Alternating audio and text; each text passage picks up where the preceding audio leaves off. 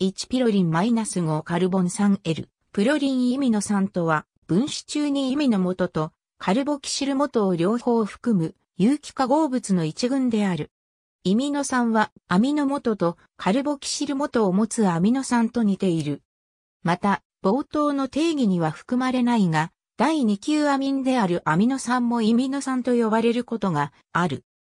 アミノ酸はアミノ酸酸化酵素によってイミノ酸に変換される。またプロリン整合成の線具体デルタ1ピロリンマイナス -5 カルボン酸はイミノ酸である。